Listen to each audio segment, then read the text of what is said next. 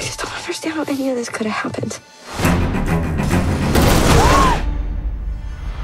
Poor little widow, all alone, cheating husband. What did you do?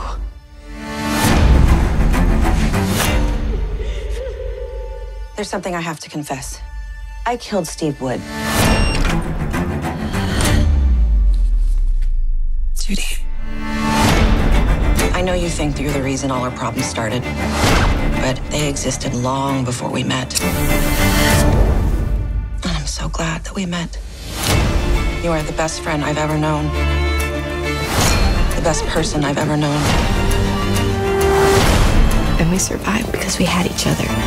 Have each other. Fuck me. Fuck me so hard. Is this button just for show? You rang? Can you get the fucking doctor? Can you please get the fucking doctor? I will do my fucking best.